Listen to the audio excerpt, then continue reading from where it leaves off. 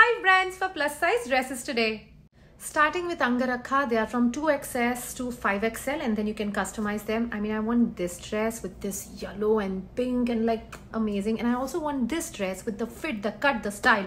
And I want this one for work. So clearly I'm in awe of Angarakha. Next is Unblocked by Jenny. This is Jenny herself, the founder, and she decided to do this brand, you know, looking at her struggles of finding good fit for her body type. So she's got cotton and did anyone say party wear?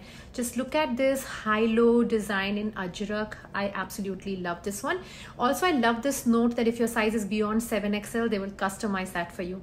After that, it's the Rebel in me. I like only these two styles from the website. This one is a nice, fun, casual, and look at the colors available for this one. Next is Blush Tree and Blush Tree doesn't have a website, but look at their client pictures. I love when I see pieces on real bodies because I'm able to relate to them. Last is XOXO Cherry. I only like the spaghetti strap styles that they have. And if you're someone who's not comfortable with that, take a lighter denim jacket. I get number of messages that, you know, they're 5XL, 7XL, 10XL, and they want to try wearing dresses, but they're very conscious. I know when you try a new style at the start, it might feel very overwhelming. When you're experimenting, start with one. Don't just go and buy 10 dresses. Start wearing one dress. Once you get comfortable, then buy another and then a third one. So just start with one